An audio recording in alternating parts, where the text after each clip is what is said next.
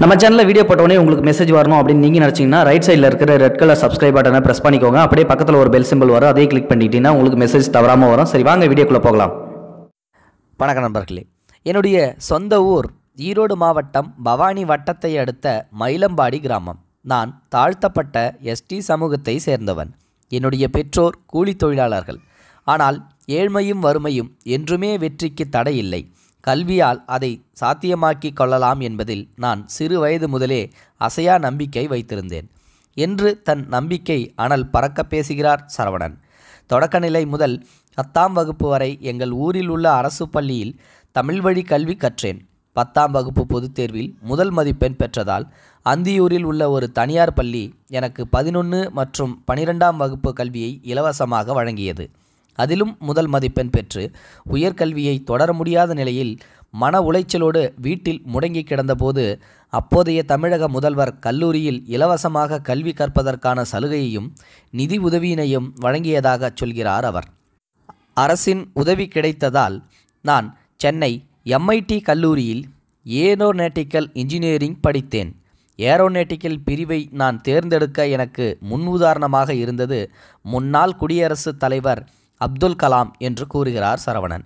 பொறியியல் பட்டம் பெற்ற பின் இரண்டு ஆண்டுகள் பெங்களூரில் டிசிஎஸ் நிறுவனத்தில் மாதம் ஐம்பதனாயிரம் ரூபாய் சம்பளத்தில் பணியில் சேர்ந்தேன்.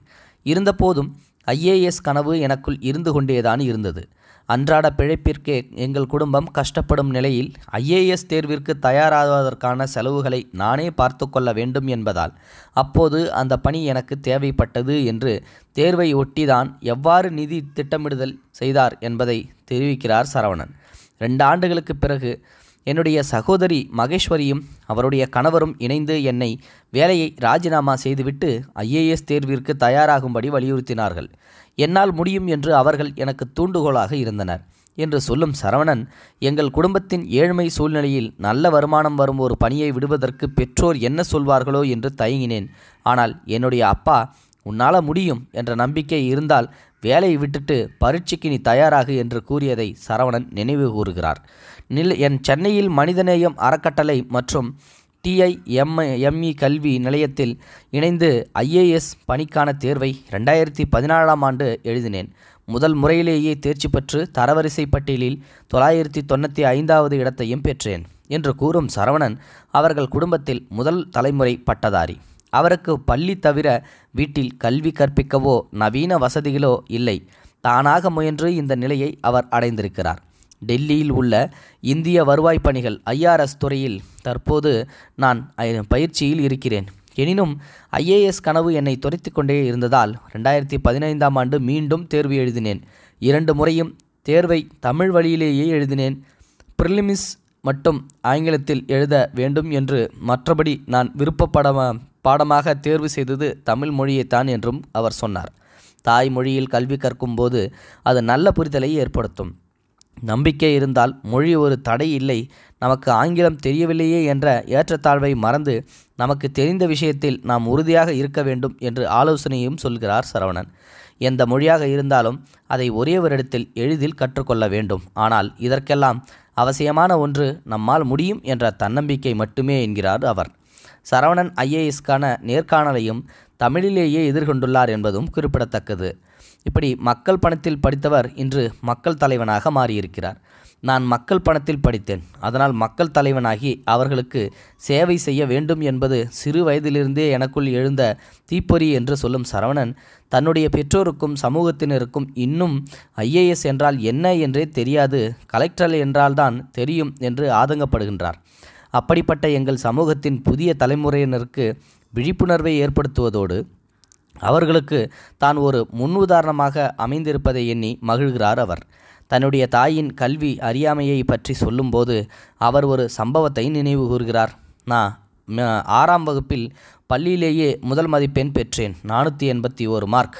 அது அந்த பள்ளியிலேயே யாரும் எடுக்காத மதிப்பெண் என எல்லோரும் என்னை பாராட்டினார்கள். ரேங்க் கார்டை என் அம்மாவிடம் காண்பித்தபோது எல்லா மாணவர்களும் நாற்பது ஐம்பது என்று ரேங்க் வாங்கியிருக்கிறார்கள். நீ மட்டும் ஒன்று பெற்றிருக்கிறாயே என்று என்னுடைய அம்மா வருத்தப்பட்டதை நம்முடன் பகிர்ந்து கொண்டார். நான் எப்போது தேர்வு முடிவு வந்தாலும் என் அம்மாவிடம்தான் முதலில் சொல்வேன். இரண்டாயிரத்தி பதினாலாம் ஆண்டு தேர்வு முடிவு வந்தபோதும் அவரிடம் கூறி ஆசிர்வாதம் பெற்றேன்.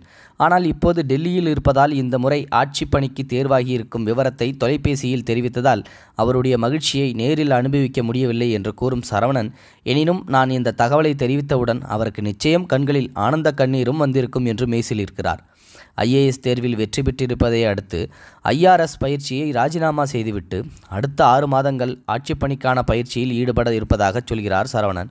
தனக்கு முன்மாதிரியாக அமைந்தது பெற்றோரே என்றும் கூறுகிறார். என்னுடைய அப்பா செல்வன் ஒரு காலத்தில் கொத்தடிமையாக விற்கப்பட்டவர். சில நாட்களில் ஒருவேளை மட்டுமே உணவு உண்டு வந்தார் அவருக்கு கல்வியறிவு இல்லாவிடினும் அனுபவத்தில் அவர் பல விஷயங்களை என்னுடன் பகிர்ந்து கொள்வார். இன்றளவும் நேர்காணலுக்கு செல்லும் முன்னர் நான் என்னுடைய சந்தேகங்களுக்கு அவரிடம் விளக்கம் பெற்றுக்கொள்வேன் அவருக்கு தொழில்நுட்ப ரீதியில் விளக்கம் அளிக்க தெரியாவிட்டாலும் முறையான காரணத்தோடு சரியான விளக்கத்தை புரிந்து கொள்ளும் வகையில் எடுத்து கூறுவார் என்கிறார். அடுத்ததாக தன்னுடைய வெற்றிக்கு உற்று துணையாக இருந்ததற்கு சகோதரி மகேஸ்வரிக்கு நன்றிகளை காணிக்கையாக்குகிறார் சரவணன். என் அக்காவின் குழந்தைகள் தெய்வத்தை வழிபடும் போது மாமா கலெக்டராக வேண்டும் என்றே வழிபட்டு வந்தனர் என்றும் கண்கலங்கும் அவர் தான் அந்த சிறு பிள்ளைகளுக்கு சிறு வயதிலேயே கலெக்டர் பணி பற்றி புரிய வைத்திருப்பதற்கும் அவர்களுக்கு படிப்பின் அவசியத்தை உணர்த்தியிருப்பதற்கும் எண்ணி மன மகிழ்கிறார். கிராமப்புற மற்றும் தமிழ் வழியில் கற்கும் மாணவர்களுக்கும் அவர் அறிவுரையும் கூறினார். நாம் எந்த வழியில் கல்வியை கற்கிறோம் என்பது விஷயமல்ல ஆனால் எப்படி புரிந்து கொண்டு படிக்கிறோம் என்பதே முக்கியமாக என்று கூறுகிறார் சரவணன். மாணவர்கள் சிறு வயது முதலேயே தன்னம்பிக்கையை வளர்த்து கொள்ள வேண்டும் என்றார். ஏழ்மையும் வறுமையும் என்றும் வெற்றிக்கு தடை இல்லை என்பதை மாணவர்கள் தங்கள் மனதில் நிறுத்து கொள்ள வேண்டும். கல்வியை விட மிகப்பெரிய சொத்து வேறு எதுவுமே இல்லை. நான் பெற்ற கல்வி செல்வமே இன்று என்னை எங்கள் சமூக மக்களின் அடையாளத்தை ஏற்படுத்தி தந்திருக்கிறது என்று பெருமைப்படுகின்றார். கல்வியை தாழ்த்தப்பட்ட இன மக்கள் பெண்கள் என அனைத்து தரப்பினருக்கும் சம அளவில் கிடைக்க வழிவகை செய்ய வேண்டும். அதை நோக்கியே தன்னுடைய பயணம் இருக்கும் என்று சொல்லும் சரவணன் கல்வியால் மட்டுமே உங்களுக்கான அங்கீகாரத்தை அளிக்க முடியும் என்கிறார். ஆணவர்கள் மாணவர்களாக இருந்தாலே இவை அனைத்தும் சாத்தியம் என்று சொல்லும் சரவணன் நாம் எத்தனை மணி நேரம் படிக்கிறோம் என்பதை விட எவ்வளவு தரமாக அதாவது படிக்கும் கருத்துக்களை உள்வாங்கிக் கொண்டு படிக்கிறோம் என்பதே அவசியம் என்கிறார். நான் ஒரு நாளில் ஐந்து மணி நேரம் படித்தாலும் நல்ல மனநிலையில் படிப்பேன் என்று தன் வெற்றியின் ரகசியத்தை சொல்கிறார். இன்றைய காலகட்டத்தில் மாணவர்களுக்கான வசதி வாய்ப்புகள் ஏராளம். இதை அவர்கள் நல்ல முறையில் பயன்படுத்தி கொள்ள வேண்டும் என்றும் அறிவுறுத்தும் அவர். அதே சமயம் தொழில்நுட்ப வசதிகள் உங்கள் பாதையை மாற்றிவிடாமலும் பார்த்து கொள்ள வேண்டும் என்கிறார். உங்கள் இலக்கிலிருந்து வழிமாறி கவனச்சிதைவு ஏற்படும்போது உங்களுக்காக கஷ்டப்படுபவர்களையும் உத்வேகம் அளிப்பவர்களையும் எண்ணி பார்த்தால் தடம் மாற வாய்ப்பே இல்லை என்கிறார். எனக்கு சலிப்பு ஏற்படும் சமயங்களில் நான் என் பெற்றோரின் கடின உழைப்பையும் இளைஞர்களின் கனவு நாயகன் டாக்டர் அப்துல் கலாமையும் நினைவில் வைத்துக் கொள்வேன் என்கிறார். கல்வியை அனைவருக்குமானதாக்க வேண்டும் என்பதே என்னுடைய லட்சியம் என்று கூறும் சரவணன் வெறும் பேச்சளவில் நான் நின்றுவிட மாட்டேன் அவற்றை செயலில் வெளிப்படுத்துவேன் என்று உறுதியாகச் சொல்கிறார். தன்னைத்தானே மெருகேற்றி கொண்டு பட்டை தீட்டப்பட்ட வைரமாக ஜொலிக்கும் சரவணன்.